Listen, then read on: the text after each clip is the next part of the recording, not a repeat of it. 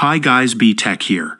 Today I'm going to do a speed test between Windows provided performance mode and appearance mode to see whether there is a difference to performance by using it. As you can see I'm currently in performance mode and the user experience is not that great. But if I use let the Windows decide mode it will disable these two settings and turn on everything else. By applying this profile, you can experience fluid animations and user experience is much better. But what does it cost? Let's find out. Before we begin, if you guys can subscribe to my channel, I really appreciate that. Swagger down the street with your